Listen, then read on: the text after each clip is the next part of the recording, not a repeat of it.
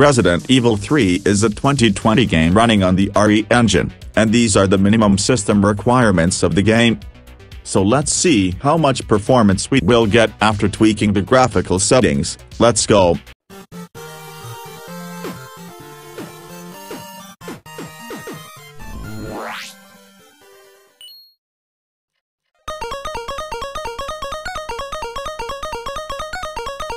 This is the lowest graphics preset of the game and the resolution is at 720p, now let's see the gameplay. The game is pretty much playable at their lowest settings, now quit the game and let's start tweaking.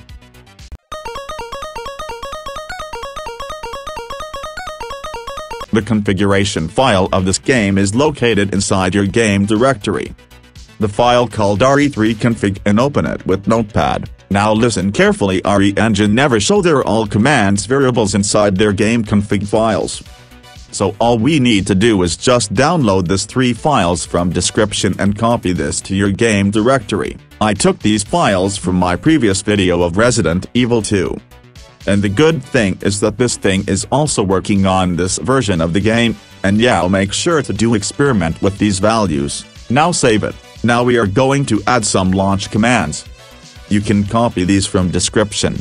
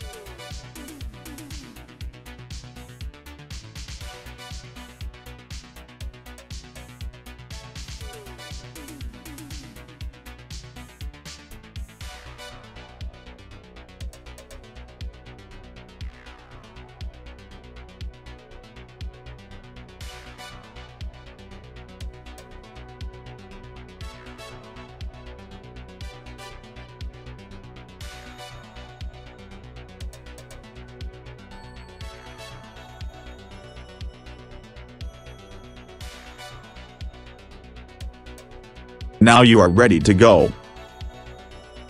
Now it's perfect, so guys that's it for today, make sure to like and subscribe, and also share this video to your low-spec friends. So they can also play Resident Evil 3 on their low-end machine, bye. Hello? Jill, are, are you okay? Brad, is that you? Listen, you gotta get out of there. What are you talking about? I don't have time to explain. You gotta get out of there right now. All right, let me grab my... What the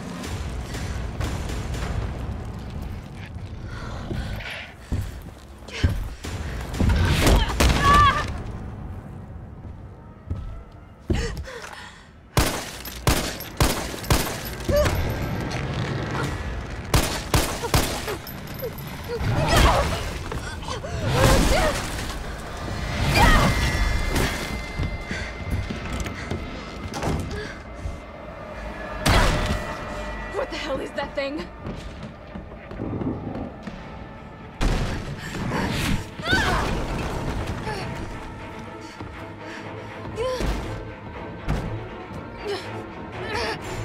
Yeah.